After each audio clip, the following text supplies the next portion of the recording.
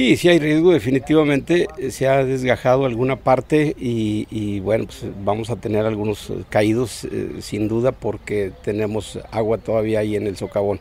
Hablé con don José, con don Raimundo y bueno, pues estamos platicando, yo, yo les estoy haciendo ver el riesgo que se corre, es un riesgo inminente, están viviendo o se están quedando en la parte posterior, que aquí sí tenemos tierra firme y, bueno, pero sigue el, riesgo, ¿no? Entonces, se cayó la banqueta? ¿Hay se cayó una, de una banqueta, sí hay posibilidad, es un riesgo, es un riesgo que, estamos viviendo.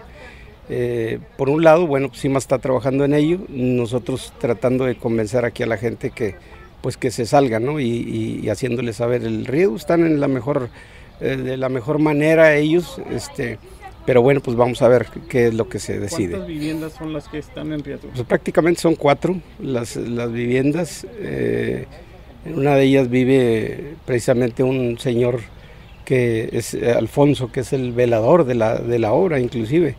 Y de este lado tenemos la, la que sigue, es, es una familia que no se encuentran ahorita, que salieron a trabajar, luego sigue don José y una de enfrente que es don Raimundo, que también se refiere que se le está despegando ahí un poquito el muro.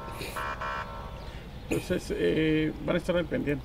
Vamos a estar aquí de, permanentemente este, y bueno, pues a ver si los convencemos de que pudiéramos trasladarlos a otro lugar para eliminar el riesgo.